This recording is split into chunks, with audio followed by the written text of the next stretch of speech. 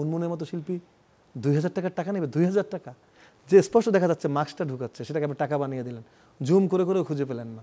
যদি আপনি আমার ঠিক এই জায়গায় থাকেন এই জায়গায় নিপুণ থাকে তিনটা প্রশ্ন করার সুযোগ সুযোগ আসে কোন তিনটা প্রশ্ন করতে চান? প্রথম করব যে আপনি তো নির্বাচিত হননি তারপর যে কাজগুলো করছেন আপনার কি আত্মসম্মানে লাগছে না? গেল এক।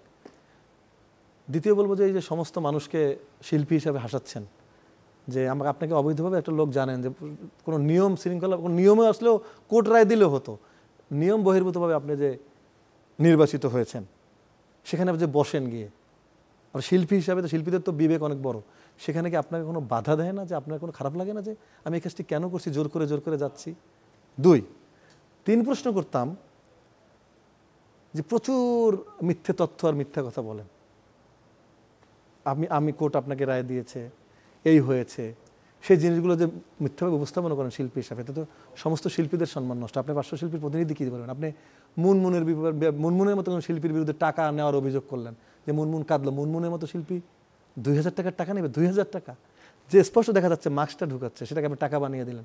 জুম করে করেও খুঁজে পেলেন না। আপনার নিজের বানানো।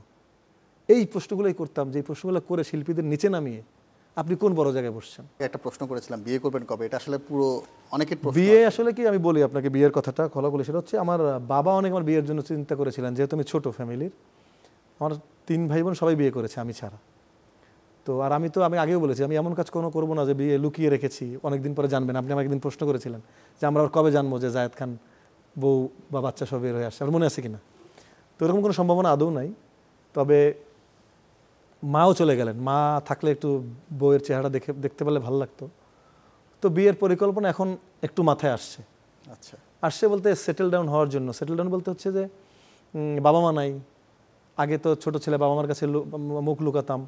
আমি একটা বোন বোনের কাছে মানুষ হয়েছে আমার একটাই বোন। বোনের কাছে মানুষ আমি। বোন খুব অসুস্থ তার।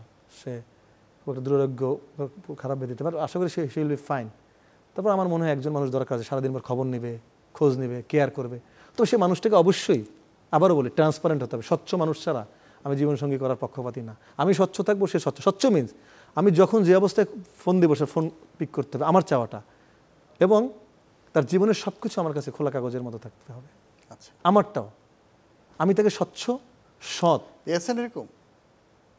না পেলে হয়তো পেয়ে যাব। না পেয়েছেন। একটু ভেবে বললেন তো পেয়ে গেছে না পেয়ে গেছি কি না যাইনি সেটা বলব না। বাট আমি আমাকে নিশ্চয়ই মহান আল্লাহ তালা সেরকম একজনকে মিলাবে কারণ আমি এবছর শুনছি জায়দ খান বিয়ে করছে অবশেষে। জন্ম মৃত্যু বিয়ে আল্লাহর হাত দিয়ে আমি তো বলিনি যে বছর করব। আচ্ছা। তবে এটা কথা দিতে পারি যখন করব তার আগে এসে আপনার অনুষ্ঠানে জানিয়ে দিয়ে তারপর করব যে আমি করছি আমি লুকিয়ে করব না। অবশ্যই আমরা আশা করি এবছরই জায়দ খান বিয়ে করবে সেটা আমরা জানব দর্শকও জানবে।